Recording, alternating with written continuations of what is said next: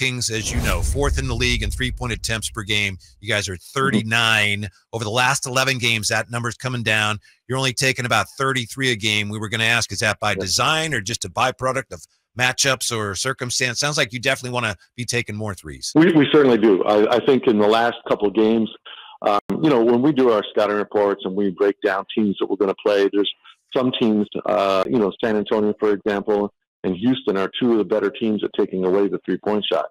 Um, you know, you come off of a pick and roll is San Antonio, they're going to guard it with two guys and they're going to push out and, and almost face guard the three point shooter. So it's tough to get 43s, but our, our goal is 40. We'd love to have, shoot 43s a game. You're right, that number is down. And I think a little bit of that has to do with our confidence in shooting it too.